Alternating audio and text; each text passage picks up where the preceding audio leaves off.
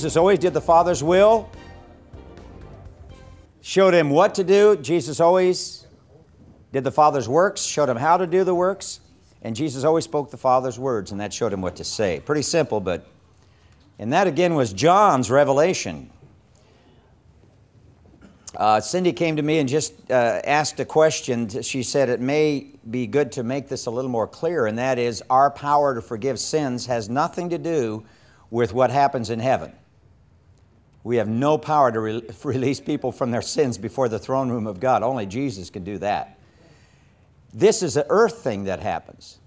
We have the power down here. By the way, you can keep people bound in their sin even after they're a Christian, but by constantly condemning them. You ever notice that? It brings death on them. So we have that authority. And clearly in John chapter 20, verses 21 and 22, whosoever sins you remit shall be remitted, whosoever sins you forgive shall be forgiven. There is a power in forgiveness that is totally awesome. The power of forgiveness releases people, not just in heaven, but on earth. Okay, now we're in verse or page 29. Okay, we're going to have to move quickly through this, and boy, this is a powerful teaching. Once you understand the anointing that Jesus had and how he functioned under the Father's authority, you are ready to seriously look at the pattern of Jesus' ministry. Understanding how Jesus ministered is the key to power. The four Gospels clearly outline what Jesus did. He used a threefold ministry. He preached the gospel of the kingdom, he cast out demons and he healed the sick.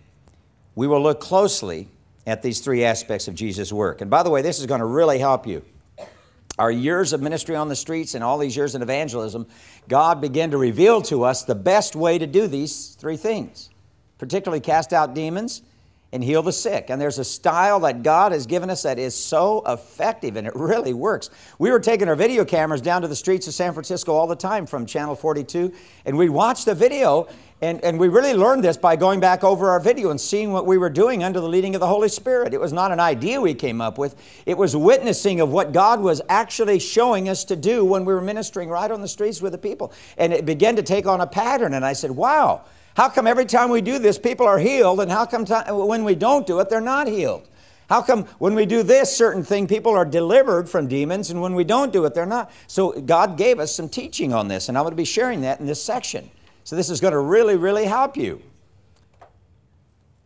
First, Jesus preached the gospel of the kingdom. Jesus came into Galilee preaching the gospel of the kingdom of God and saying, What? Repent and believe in the gospel. Now, unfortunately, most evangelism today only deals with the last part of that gospel faith. What you need to do is believe in the Lord Jesus Christ. But that's not the way Jesus did it. Jesus always took them through repentance first, and the church by and large has never been taught on how to lead people through repentance. We know well, most of you here probably know how to lead people through faith in Christ. Whatever style you use, a Romans road or whatever, and I, they're all good. But we've never been taught how to get people through repentance. And I'm going to teach you this morning. Oh, you're going to like this. After Jesus received his anointing, he immediately stood up in the temple and read from the prophet Isaiah The Spirit of the Lord is now upon me, for he's anointed me to preach the gospel to the poor. The kingdom of God has two elements. First is repentance. Jesus had a particular way of bringing people to repentance. Here's the style that Jesus used. Now, again, we're looking to Jesus as our pattern of the evangelist. I'm going to follow Jesus' pattern. I don't know about you, but looking unto Jesus, the author and finisher of our faith, I believe Jesus is the standard, nothing else. Here's how Jesus brought people to repentance. He always made them face the strong man over their life. Because when you repent of the strong man, you repent of the whole. Let me illustrate. The rich young ruler came to Jesus. Said, What must I do to inherit eternal life? Ask the right question.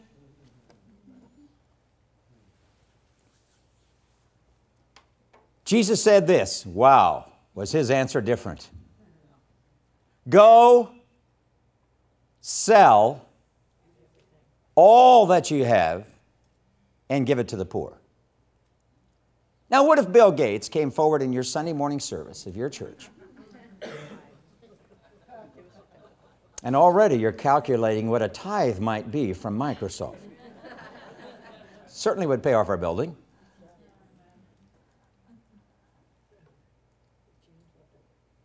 And the pastor gets up, and Bill Gates walks forward and said, Pastor, here's my hand. I want to receive Jesus Christ today as my Savior. I doubt if many pastors in America would do what Jesus did, would do. Well, Bill, I'd like you to receive Jesus today, but I'm sorry I can't lead you to Christ right now. But if you'll go home today and sell everything you've got and come back next Sunday and tell me everything you've got now is given away to the poor, then I'll, I'll, I'll, I'll, I'll win you to the kingdom. Now, what's the point here? Jesus was not asking the rich man to get rid of all of his wealth. What was he doing? He was mating, making the rich man realize the strong man over his life because in kingdom you can't have two masters. So we began practicing this principle on the streets. I began teaching it. I said, Is this really going to work? How do we get people to recognize the strong man over their life? What are some ways we might do that? Talking. Ask them. Here's how I ask people I'm talking to somebody, I'm evangelizing them, and I say, Can I ask you a question? Most people love when they, you know, they, they want to talk, and so, yeah, yeah. What has been the main thing in your life that's kept you from Jesus? Simple question. What's been the main thing in your life that's, that's kept you from receiving Christ. Now, when they give an answer, remember the man from Salem, Oregon that I talked about? His issue was not alcohol. It was what? Pride. The strong man over his life was pride. When pride was broken, he quit drinking. Maybe he drank because he was embarrassed. I don't know. Maybe he'd done something wrong in his life and he couldn't face it and he was too proud to face it, so he just drank to cover up the, the pain. But it, the issue of his life was really pride. So when people give you the answer, now you must discern if it's true or not. I, I was uh, in Stockton, California. We were doing an outreach on the streets there, and I taught this, and a lady actually was brought to me by one of the workers, and the worker said, You know what? I, I was talking to this lady, and I, I, did what you said in the class, and, and she really got upset with me. And I said, well, What would you do? Well, I told the lady, what, What's the main thing in your life that, that's kept you from God? And she said, Well, it's my cigarettes. Now, you know, you can smoke and go to heaven. In fact, statistics say you will get there sooner. So, I mean, smoking isn't going to keep you out of heaven. I mean, that, overeating can be just as big a sin. You know what I mean? But this gal, man, she's standing with her cigarette and she said, I won't quit smoking for you, God, or anybody else. See, now she's standing with this Christian worker. And so we'd come to an impasse with her. And I said, Well, ma'am, I said, I'd like to lead you to Jesus today with this worker, but you know what? You're not ready. Well, she said, well, you know, and she walks off. About 20 minutes later, lo and behold, she comes back with her pack of cigarettes all bent up, twisted up, and she hands them to me. She says, I'm ready. I said, Now, can I ask you a question? What has been the main stronghold over your life? She said, It's not smoking. She said, It's rebellion. She said, From the time I was a child, my mom said, You are the most rebellious child I've ever seen. You know, that, and her thing was expressed in rebellion. But she said, you know what? I'm ready to come under, as she tells me, I'm ready to come under the rulership of Jesus today. I, she said, I need to get my life straightened out with God. So we hit the cement, and her little five year old boy knelt next to her. And we led her to Jesus. And then the little boy said, I want Jesus too. So we led him to Jesus. And there was water in the park. Anytime there's a fountain in the park and there's water or lake or whatever, we baptize. We have a lot of home we give, uh, clothes we give out to homeless. And we baptized so many times on the streets. It's, it's great to do this. We did a march in, in, in San Francisco with about 300 believers down Market Street, uh, just a special march. We had banners and all kinds of stuff. And 14 people received Christ during that march.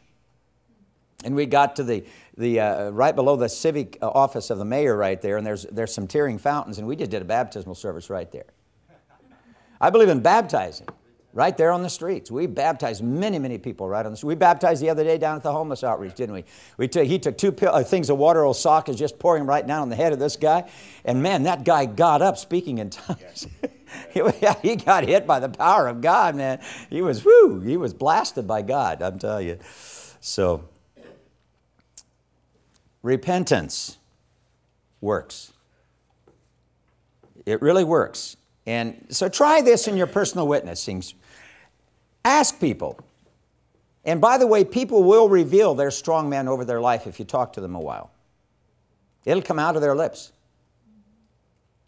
And God will show you what the strong man is. So, Jesus, one half of the gospel of the kingdom is repentance, the other half is faith. So, what we've done is fill our churches today with people that have received Jesus Christ but haven't truly repented. And that's why the church is powerless. Does that make sense? They want to still run their own business. They still want to own their own car and house and life and take Jesus along as a partner. It doesn't work that way. Don't turn there, but Luke 14, Jesus said three times If any man has a greater love for his mother, father, wife, children, or his own life, he cannot be my disciple. See, the first thing that discipleship costs is your affections. Because what is closer to our heart than our mother, father, wife, children, and our own life? He says, If you love any of those more than me, you are not my disciple. And then he goes on and said, Who's not willing, whoever's not willing to take up his, cross daily and follow me cannot be my disciple. Three times Jesus said in this chapter, You cannot be my disciple. I mean, I don't like negative messages. You know what I mean? I wish this was easier. You know, why didn't Jesus just preach a positive message that you're okay? You can build a big church today on that message. And then the third thing he said, Whosoever is not willing to give up all that he possesses, verse 33 of Luke 14. The other two verses are 27 and 28, by the way. Whosoever is not willing to give up all that he possesses, not 10%. Are you, aren't you glad that Jesus didn't die 10%? I'm glad he didn't tithe his blood and he just say, I'll take away 10% of your sins. We'll just make a deal. You give 10% back to me and I'll, I'll take away 10% of your sin. He said, All of your possessions. I don't own anything. I don't want to. When my car breaks down, I said, Jesus, your car just broke down.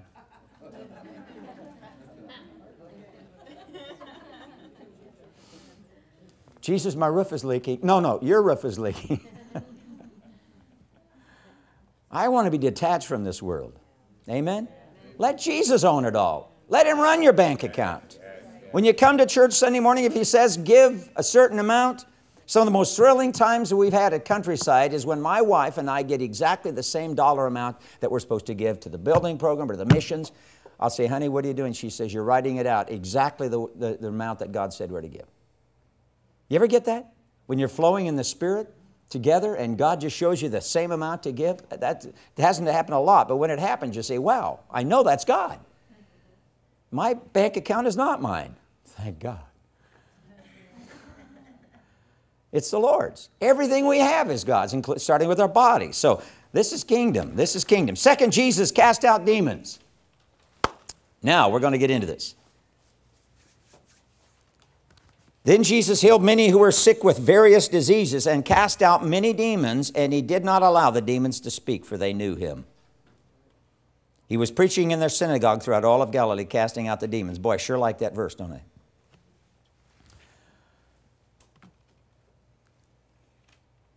I could name the churches that I know in Tampa Bay that practice deliverance ministries. on these two hands. One third of Jesus' ministry was casting out demons.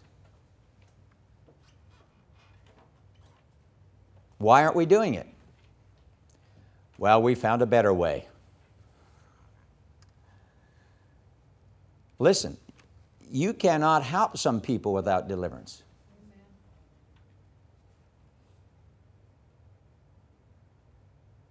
And I believe in it with all my heart. I've seen the results of it. We try to counsel people out of their problems. Again, let's go back and review what I said last night and the night before. The first point of deliverance, there are two things that are vital with deliverance. Number one is true repentance. True repentance closes the door to Satan. Now, let me tell you something about demons. Demons operate by legal rights. There are laws in the kingdom under which demons operate. They know their rights. They know their limitations. They know when they lose their legal right in your life. They know that. They don't want you to know that, but they know that. This is one of the most neglected ministries, page 30, of the church today. We have rather gone to a more positive message of only preaching about things that make people feel good. So all those in the synagogue, when they heard these things, were filled with wrath and rose up to thrust him out of the city, and they led him to the brow of the city on the hill which was built that they might throw him down over the cliff. See, that's Jesus didn't mind stirring the waters. Amen. but he always would get to the root issues. Imagine your first message. You just graduated from seminary which was the wilderness for Jesus. He just came out of the seminary in the power of the Spirit. He gets up, and this is the first time now he's preaching in the synagogue. And at the end of his first message, I'm sure his mother was standing off the side there. What mother wouldn't want to be there when her son preached his first message? She's saying, Yeah, go, Jesus, you know. Because I don't think, is this true that the women weren't allowed in the. I don't know about, I'm not that familiar with the Old Testament synagogue, but were they allowed, the women? I don't think they were. Yeah, they'd sit on the side, exactly. So Jesus preached, he just got up, and all he did was quote Isaiah 61. That's all he did. And then he said, This day has this scripture been fulfilled in your eyes. And it says they tried, they went forward and, and, and, and started taking him to the edge of the city, and they're going to throw him off a cliff. Now, that I wouldn't say that's a real successful ministry start. I remember my first message when I just got ordained. Uh, you know, wow. My family was there to support me. I felt so good. Everybody patted me on the back. Wasn't like Jesus. He was passionate about setting people free. He didn't care what people thought. How God anointed Jesus of Nazareth with the Holy Spirit and with power, who went about doing what? Good and healing all that were oppressed by the devil, for God was with him. The Father was with him. Jesus didn't heal all sick people, but Jesus did set everybody free from demons that he came in contact with. He hated demons. He was passionate about taking people from the kingdom of darkness to the kingdom of light. He came to destroy the works of the devil. He didn't like what was happening in people's lives when they were under the oppression of Satan. Ooh. And that should stir you up as well. When you see your neighbor start going downhill and getting on drugs or whatever, getting into something, and should upset us. We should start doing warfare and spiritual battle over this. Jesus came to destroy the works of the devil. Top of 31. Now, we see several truths about the devil's control over believers.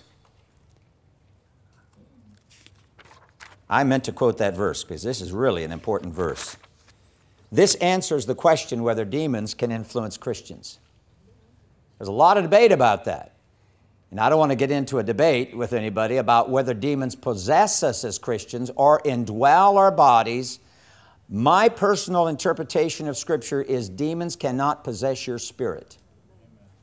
They can indwell your body as believers and they certainly can influence you. Let's read it. Now, this is Paul's writing to Timothy. And the servant of the Lord must not quarrel, but be gentle to all, able to teach, patient in humility, correcting those who are what? In opposition. What does it mean to be in opposition? These are believers. These are Timothy's believers in his church. If God perhaps will grant them what? Repentance. So that they may know the truth and that they may come to their senses and what? Escape the snare of the devil, having been taken captive by Satan to do his will. Wow written to Christians, not to the unsaved. This is Paul writing to young Timothy, instructing him on demon influenced people in his church. Again, repentance closes the door. See what it says? When they repent, they will escape the snare of the devil. You don't think Satan has a will for your life like Jesus does? Says right here, he's got a will for you, just like God has a will for you. And His will is not going to be good. we see several things here about the devil's control over believers. First, they are in opposition to themselves. Confusion. God is not what? Author of confusion. They become opposed to themselves. They have a double mind. A double minded man is unstable in what? All of his ways. Second, we can see the way of escape is through genuine repentance, as we've said. Repentance closes the door to demons. Demons and Satan operate on spiritual, legal rights. Legal rights. They sit and wait and watch the life of the believer and wait for a place that they might be given. And that is why the Word of God says, Give no place to the devil. We covered a little of this last night. Thus, we see the very first principle in which demons operate they are territorial. Demons always want a way to manifest their presence on earth. The best way they can do that is through people. But if they can't handle people, they'll even go into animals, such as swine. They begged. They said, Don't disembody us. Don't disembody us. Don't cast us to the way places. Jesus, put us in the swine over there. So demons are first territorial. If demons are territorial, how then do we get them out of the territory?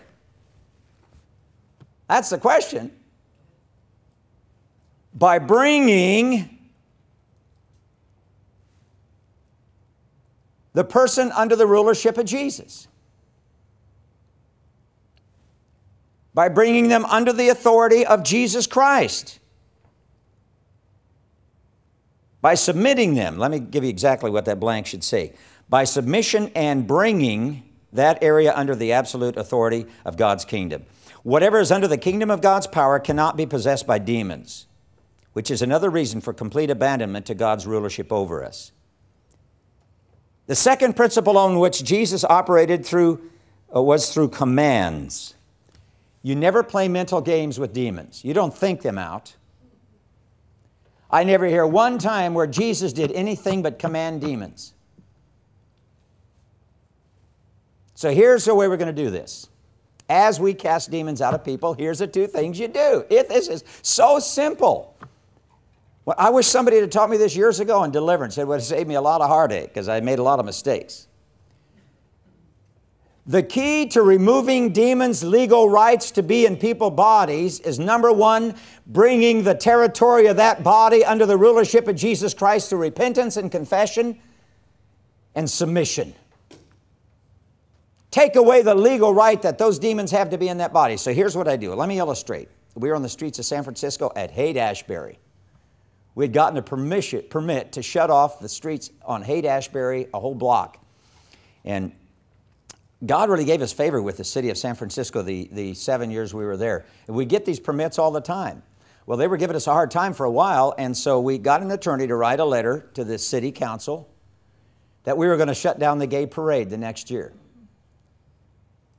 So we threatened to do. He said, We're going to raise up a community group that's going to shut down the gay parade in San Francisco. If they have a right to hit the streets, we have a right. So after that, we never had a problem getting a permit. We just had an attorney send a letter. So we had this street closing, and this band from Vallejo, California came over, a black church, and I mean, these guys rocked. And you know the name of the group that came over was Deliverance? Ron Cooley and Deliverance. That was the name of the band. And so they set up their equipment right in the middle of the street, and we're going to have a, a time there. And this young man comes walking across, and by the way, you could see right from the street, you could see uh, demonic paraphernalia in, in, in the windows. This was a really heavy witchcraft area. And it was the area, by the way, in the, remember the hippie movement, Haight Ashbury? And, and, so this young man's coming across, you know, and we're almost ready to start, start the ministry of, of worship with Ron Cooley and Deliverance. He says, What's going on here? I said, Well, I said, we're having a band play. He said, Well, is it rock? I said, Yeah, in fact, it is the rock. Uh, he said, The Rock. He said, Are they a local band? I said, Yeah, he hangs around the city a lot, but I said, It's just a one man band. He said, Well, who is it? Do you have a name with, with The Rock? I said, It's Jesus Christ. Oh, wow. He said, That's heavy. I said, Yeah, it's heavy rock. just kind of bantering back and forth a little bit. I said, Seriously, we're, we're here to lift up Jesus Christ. And then the Lord gave me a word of knowledge. I said, You're into witchcraft. Ooh, he said, How'd you know that? I said, God just showed me you're into witchcraft. I said, You've given yourself over to Satan. He said, You know what? I have been thinking more lately about committing suicide. He said, You know, the Golden Gate Bridge, I want to jump off of it all the time. He says, Can you help me? I said, No, I really can't. But I know the rock. he can. I said, if we'll, if we'll, I said, here's what you need to do. I said, if you really want to get set free from these demons that you have in your body that are talking to you about killing yourself, he says, I am constantly oppressed. He said, I'm always under this oppression in my life. I said, it's the demons in you. I said, you want to get rid of them? He said, yes, I do. I said, well, what you have to do first is you've got to submit yourself to the rulership of Jesus Christ. I said, if you want to do that, I will kneel with you right here on the cement of this street. So I said, Ron, Bring your band over here. I said, Don't play yet. Let's pray with this man. So we knelt around this guy on the, at Haight Ashbury and we started praying and he really repented. He eh, with tears. He really he said i want to receive you jesus. Come into my heart. I mean he was a classic salvation man. He just did everything we asked him. And then i said now listen you just accepted jesus christ and the holy spirit has come into your body. I said i'm going to show you now how to get rid of the demons. You're going to command them to leave. We're going to help you. Here's what you say to these demons. You have no legal right to stay in my body. Get out in the name of Jesus. So he said, Okay, he did it with authority, you know.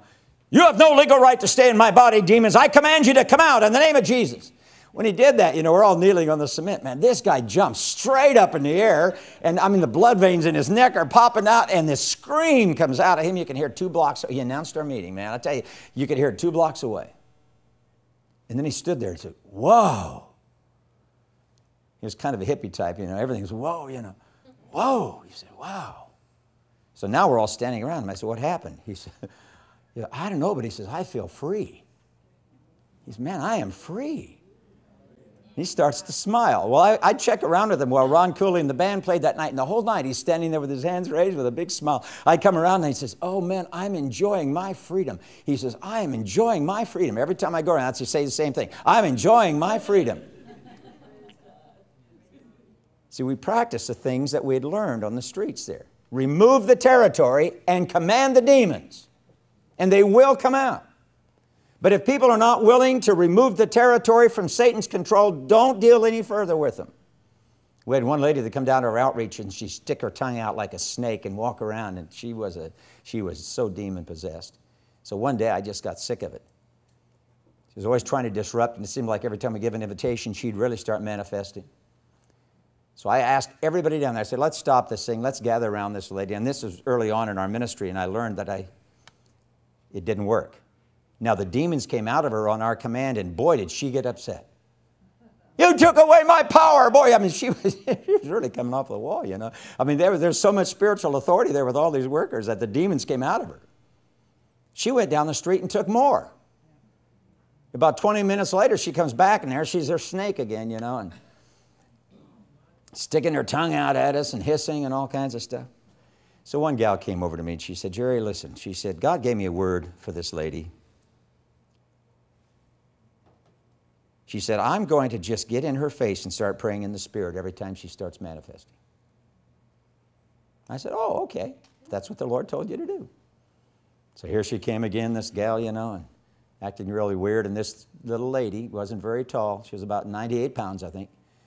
She just got right in her face and started praying in the Spirit. And boy, just started backing her out uh, of the plaza. This happened about three times, and that gal never came back. Shut down. The, I don't think the devil liked what was being said there because when you pray in the Spirit, man, I tell you, there's an authority there that comes, and it got rid of the attack. But to my knowledge, the never, lady never got free. So demons are number one, they're what? Territorial. And number two, they leave by command. It's almost that simple. I don't know that I need to teach a lot more about it. Let's look at some of the deliverances that Jesus revealed through the Word of God. Faith in God's delivering power is important.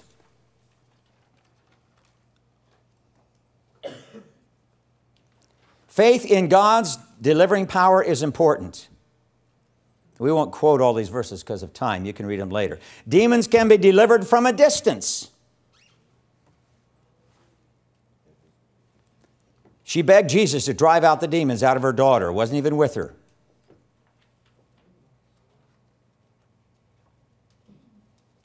I believe we have authority, folks. You have a son or a daughter or a child or a neighbor or whatever, Speak it out. I don't know what the limitations of the spirit realm, but I know that God's power can travel. Demons recognize spiritual authority and identity. Now, in the synagogue, there was a man who had a spirit of unclean demon, and he cried out with a loud voice, saying, Let us alone. What have we to do with you, Jesus of Nazareth? Did you come to destroy us? I know who you are, the Holy One of God. By the way, demons. In Mitchell, Nebraska, remember the first night I talked about the prostitute that came in? I didn't tell you the beginning of that story. We went to the pastor's office, started dealing with this lady, and a demon starts speaking out to the pastor. And here's what the demon said I know what you've been doing in this city. To the pastor. Next thing I know, the pastor's on his knees repenting. I never asked what it was. But that demon knew that that pastor had been operating in disobedience in, in an area that he had no authority in. That, I, that kind of spooked me out. I thought, whoa, that's the first time I've seen that. Listen, if you're going to deal with demons, you want to have a clean heart.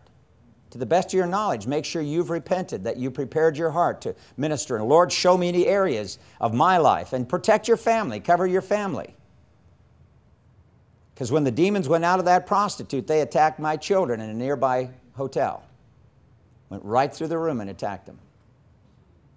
So I learned something cover your family with the blood of Christ. I do that every night, by the way. When I put my kids to sleep now, I cover them with the blood of Jesus. I, it's just every night I pray for them when they go to bed. And I lay my hands on them and I say, Father, I just cover these children with the blood of Christ, and I, I assign angels around this bed tonight, and there is no penetration upon these children with any demonic forces. Because when we begin to do work in Haiti, I begin to really come under attack. Our work in Haiti has really been aggressive. We've got four teams down there. We've really spent a lot of time and effort down there. But I'm telling you, Haiti is one of the most demon infested portions of the earth. You can fly over that country in an airplane, and you know when you're leaving Dominican Republic and coming over Haiti, all the land turns barren. Totally deforested nation. You can't find a tree hardly outside of Port-au-Prince for miles and miles. They've cut them all down. It's just a barren wasteland because that country, when it won independence from France, sacrificed a pig in North Haiti, and, and, and the president of Haiti dedicated Haiti to Satan. And people have been trying to break that curse ever since. That was in 1746, I believe it was. That is one of the toughest nations of the world to deal with. And if you want to have a challenging ministry, you, got, you can cut your teeth on Haiti if you want, but you better make sure your life is right with God when you go down there. Even TBN that built that big hospital ended up losing it to the government. Spent millions of dollars. Jan Crouch raised all this money. That was her favorite project, and it never got off the ground. I drove by that beautiful hospital. We went by it going up to, to Forest of the Pines to launch one of our teams, and I saw that beautiful facility. They'd never been able to open it up. Even that got shut down with all the prayer power behind TBN and money behind TBN and everything else. I'm telling you, there are some big strongholds over that nation, and, and there needs to be a widespread repentance in that country to break the strongholds. But it's such a crooked, corrupt country. Every time we got gas, the gas station charged what they want. I went into the manager of the gas station. I said, Give us our money back. They wouldn't give you the change. If you, gave them, if you bought $5 worth of gas and you gave them 20, they kept it. I said, You know why Haiti is not blessed? I said, Because you're so corrupt here. I, I, I don't know. I just, I hate injustice. You know what I mean? It rips the people off. But I'm just saying, there are countries that are oppressed by the devil. But I would like to see just a massive force of prayer and fasting and really aggressive something happen over that country and set it free. I, I, would like to see that happen. But it has to happen with the people of Haiti as well because a lot of the church people are corrupt too.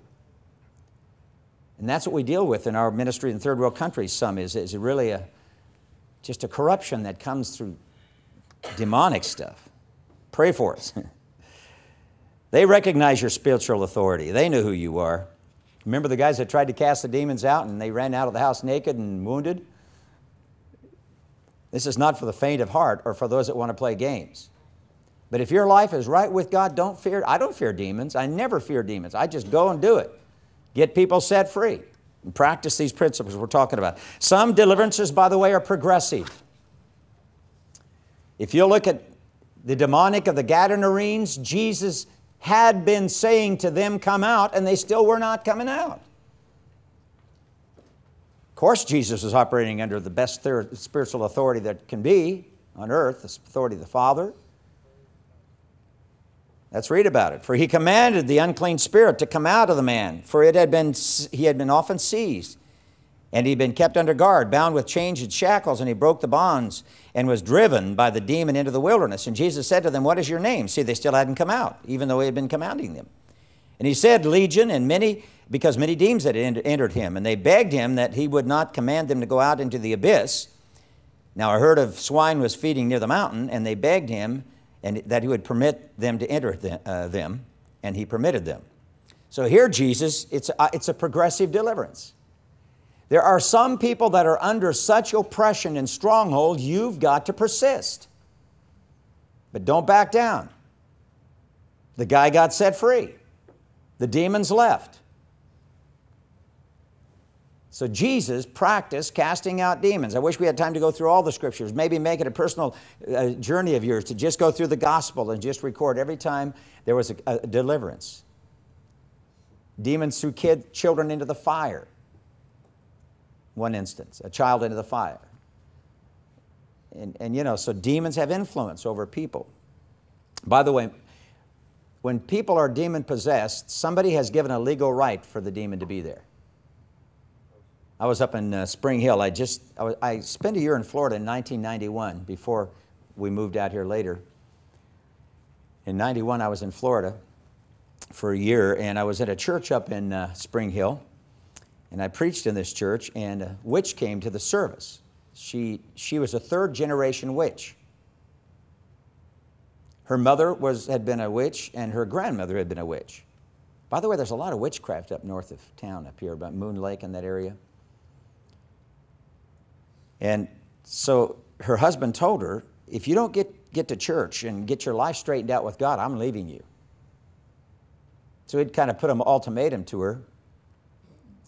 She had drawn blood every adult day of her life and offered it to Satan on an altar in her home. This was a regular ritual of hers. And uh, at the end of the service, she came forward. Well, there was one deacon in this church. He was a big guy, he was really big. And I saw him at the altar, and they were trying to deal with this lady and trying to get the demons out of her. So they came to me and they said, Jerry, we, we're not having too much success because they were not practicing the principles that we had learned here. I hadn't taught that yet to that church. So I went up there and I started dealing with her. And so I, I uh, start walking up to this woman, and the demons start speaking out of her. We don't want you here. I just moved to, to Florida. We don't want you here. Go back. Go back.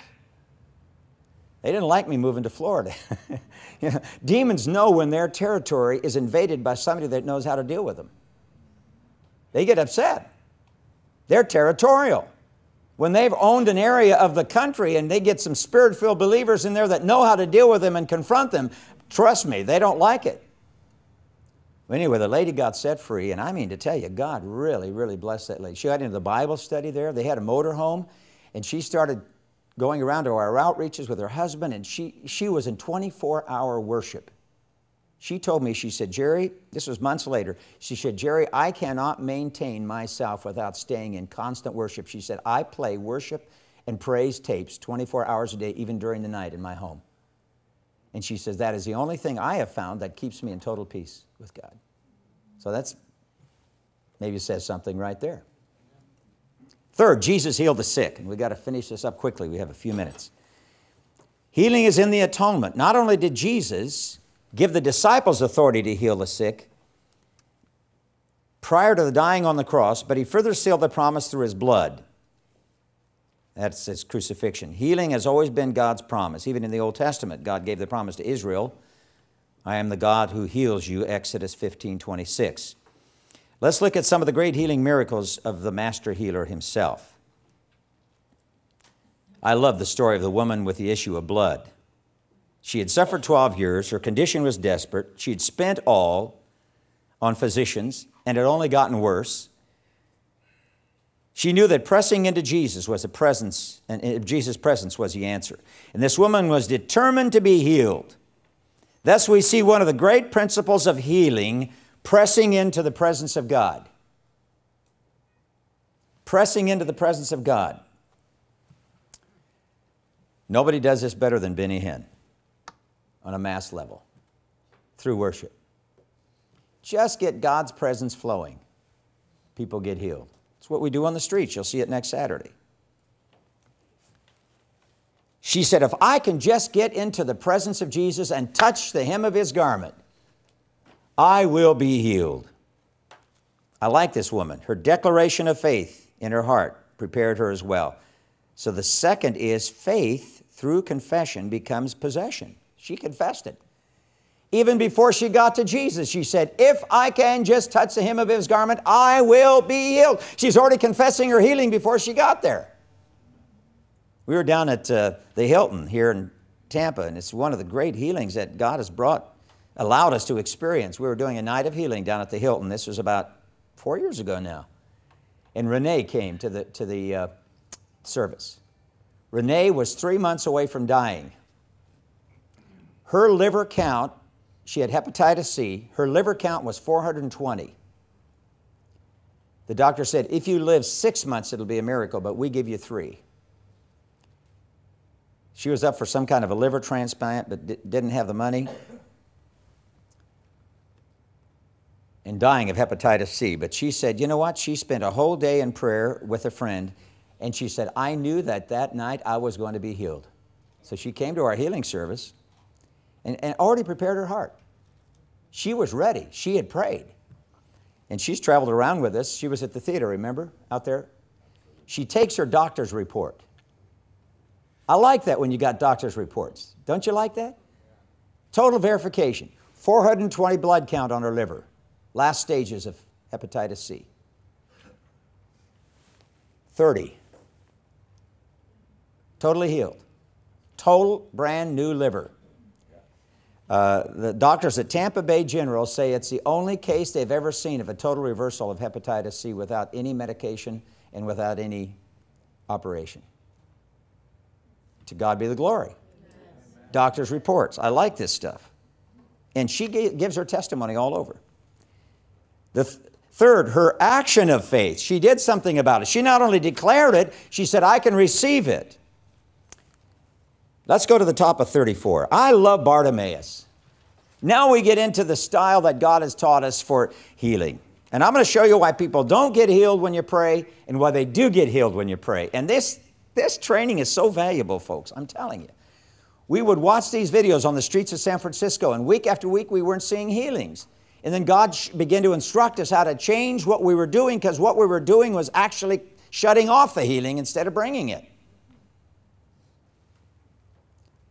Bartimaeus stands before Jesus. We won't read all the scripture, but let's just summarize it in this. Bartimaeus stands before Jesus, who asks him, What would you have me to do? Is that an interesting question? Is it evident what he needed? I mean, this guy's been sitting at the gate out there for years. Everybody probably in the city knows him. He's blind. Isn't it pretty evident what he needs? What does he need? His sight. Why in the world does Jesus ask him this question? Doesn't Jesus know what he needs? This is very interesting. Jesus wants Bartimaeus to confess his need. It's only through confessing your need that you focus your faith.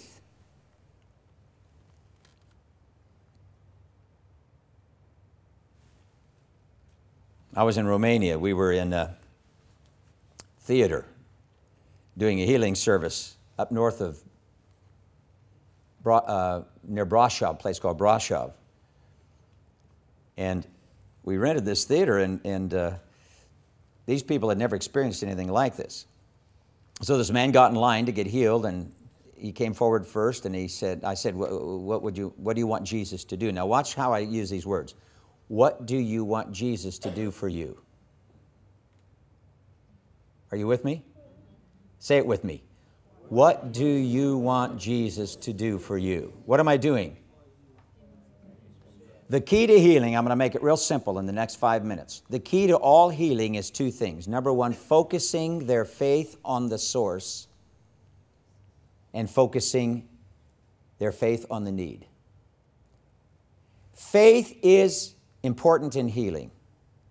You've probably heard of the term faith healers. Faith is important in healing. Almost every story of healing in the New Testament, Jesus honored their faith. He said to the woman who was healed of the issue of blood, your faith has made you whole. He said the same thing to Bartimaeus. Bartimaeus wasn't going to shut up. He got louder when the disciples said, Just be quiet. He said, No, this is my chance. Jesus is coming by my way. Here's what I do when I have people pray for the sick. And I want you to do this next Saturday when you, when you minister down there, and I want, want you to do it in our church here if, if you, from now on, because you're going to see results. Here's normally what people say, and this is why they don't see healing. I'm going to tell you what not to say first. Never, never say this How can I pray for you? That is the worst thing you can ever say when you're coming to healing. Because now what's the focus? Your prayer. So people are looking to what for their healing?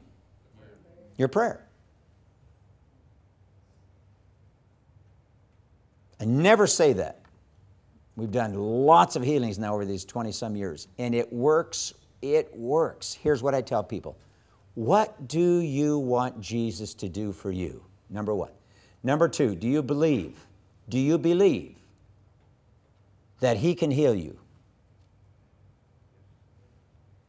If they say no, then I do some additional instruction. I build their faith. Do you believe that Jesus can heal you? Yes, I believe. I came today expecting. His, his word says He will heal me. Boy, they're ready. What do you want Jesus to do? Well, it's my back. I was injured in a car accident three years ago and I, I'm in constant pain. Okay, take your left hand and put it on your back. Now raise your right hand to Jesus. All right? Now, I want to remind you, I cannot heal you. Nobody in this room can heal you. We don't have that power. But we'll connect you to the one that does. Who is going to heal you today? Jesus. Constantly focus their faith on the healer, not you. Now, you have them pray this prayer Jesus, I receive my healing now. I am healed. Man, we've seen results with that. When we started practicing that approach, and it's biblical, I just never understood it. I was telling people, How can I pray for you today? Nothing had happened. Healing has to do with faith. Jesus is the source. They lowered the man through the roof to bring him to Jesus. Got to get into the presence of the Lord. That's where the faith works. Jesus said to Bartimaeus, What do you want me to do for you? Oh, that I might receive my sight. Now, he's focusing his faith, right? He's focusing his need to the source. Did that help at all? Try this out, folks. I mean, eh, just try it with the next person you pray for in here. Let's practice it a minute. What do you want Jesus to do for you? Number two, do you believe that He has the power to heal you? Maybe even quote a verse. Build their faith, build it to the real source. Put your hand. I always use the physical approach because it, it really helps people focus. Put it on their stomach, their heart, their head, whatever it is. Focus it. Raise the other hand to Jesus. And now I'm going to agree with you. If two what? Agree on earth as touching these things, they shall be done of my Father which is in heaven. Boy, that works. We've had some awesome healings on the streets. Healings are often associated with demons and spirits of infirmities. So sometimes you got to do a combination of deliverance and healing. By the way, one of the keys for people to release their faith is they must, number one, forgive others. Do you know how much unforgiveness blocks healing? In fact, a lot of sickness is caused by unforgiveness and bitterness. Bitterness becomes a root in our life, okay? We're almost finished with this section. Is that okay? Can we just finish up real fast? Healing was done by Jesus and his disciples with two means the laying on of hands and anointing with oil. I believe in oil. We've got, I found another box of it in our stuff. I didn't realize we had it. Try to get one of those anointed oils for, for I mean, these are scented oils from Israel. I love them. And different oils represent different things. The pomegranate oil represents fruitfulness. Uh, you know, there's, there's different oils over there. Check them out. And I just love using oil because Jesus used it. It's a point, I believe, of faith and contact. And they cast out many demons and anointed with oil many who were sick and healed them. Mark 6.13, top of page 35. No healing was lar- too large or small. Peter's mother-in-law was healed of the fever, right? Some additional principles we've found in praying for the sick are make sure people have forgiven those who have offended them, and number two, make sure they have all known sin out of their life. Now, I want to make a statement here. I want you to remember this. Fill them with the Word of God. Faith cometh by hearing, hearing and hearing by the Word of God. Now, look at this. When the Word of God becomes more real than your disease, your faith is prepared to receive. Did you get that? When the Word of God is more real than your sickness, you're ready for healing. I love that phrase. That's a good one. Somebody gave that to me. It's not mine. but I love it. When the Word of God is more powerful than your sickness, you're ready for healing. All right. We declare the following. Want to stand and stretch just a minute and make these declarations in this section? Let's do it. Come on, let's stand up and make these declarations. Get ready to receive. All right. I just do that at the end of this section because it's so important. Let's all repeat it together. Let's read it together. I receive and come under the same authority and anointing that Jesus walked in. I am empowered to do the will of God, perform the works of God, and speak the word of God. Therefore, I commit to declare the kingdom of God with power, to heal the sick, and to cast out demons. I can do this because God's word says so. Amen? Amen? I commit to hear the voice of God by developing intimacy with God and learning to obey His commands. In doing so, I believe I will develop this ability to clearly discern the voice of the Holy Spirit inside of me. I commit to practice the immediate action of faith by doing what God commands without any resistance on my part. I take this risk because I trust His voice in me. I commit to take the territory God has given me that has placed, has placed in my area of earthly dominion. I will walk in the power of the kingdom of God with authority, not fearing the enemy. I commit to awaken each day with a fresh awareness of how God will use me to win others to Christ. I will be keen to discern His leading throughout the day. Amen. Come on, let's give the Lord a hand. Hallelujah. Woo. Hallelujah. All right, take a break. We'll be.